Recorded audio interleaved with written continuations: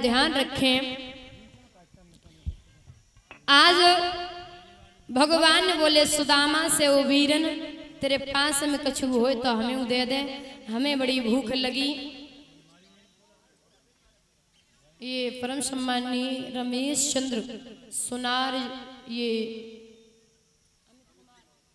ये अमित कुमार, जो इक्यावन किलो केला भगवान के चरणों में प्रसाद के रूप में और मुझे भी सम्मानित किया है पगड़ी पहना के और माला अर्पण करी है। समस्त साथियों को सौ सौ रुपए से सम्मानित किया है समस्त स्टाफ को। भगवान से कहना, कन्हैया, सुख संपत्ति प्राप्त हो। हर जगह सम्मान बना रहे। भगवान से ही कामना करती हूँ। बोलिए, कन्हैया लाल की महाराज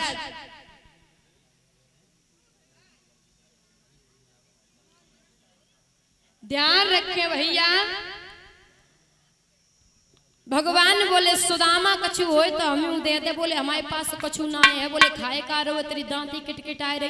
बोले, बीरन का पागल हो गए। इतनी सर्दी है, बारिश है रही है और ठंड के मारे हमारी दांती किटकिट आ रही। भगवान तो समझ गए हैं, लेकिन सुदामा चना कैसे दे देवे? चना तो दादा श्रापते हैं, इसलिए नहीं दिए हैं। भगवान ने सुदामा को श्राप नहीं दिया था। ये गलत है। वो चने ही श्रापित थे। क्योंकि गुरु मैया ने दिए हैं तो सुदामा फेंक भी नहीं सकते चने। गुरु मैया की आज्ञा है तो सुदामा चने फेंक भी नहीं सकते हैं। इसलिए वो सुदामा ने दादा चने खाए।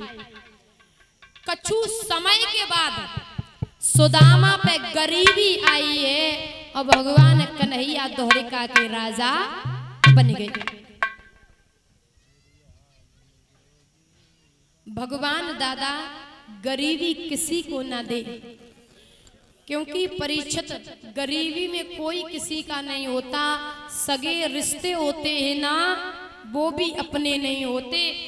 भाई भाई को भूल जाता है, गरीबी ऐसी चीज़ है दादा कि अपने लोग अपनों को नहीं पहचानते, क्योंकि वो गरीब हैं। तुम अमीर हो। तासे भगवान गरीबी किसी को ना देवे। सुदामा की बड़ी बुरी हालत है। द्वार द्वार जाते हैं दादा। मठा मिल जाए तो नमक ना आए।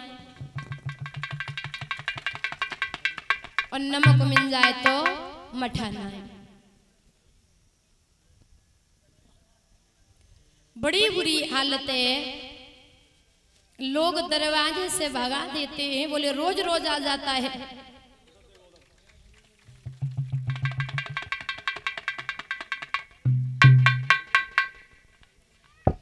दादा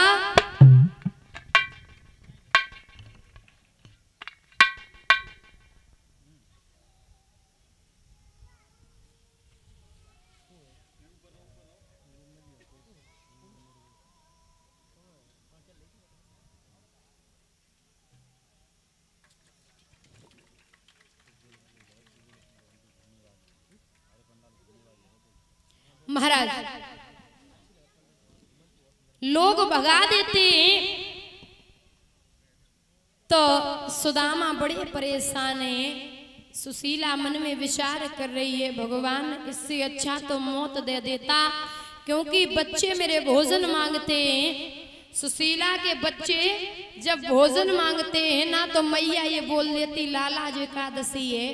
तो बच्चा बोले, मैया एक मास तय पाख में और दो एकादशी हो सो प्रभु दीन दयाल ने प्रतिदिन दीनी मोई दादा, जब बच्चे भोजन मांगते हैं ना तो सुशीला कह देती है, लाला जो एकादशी है, बच्चा का तो मैया।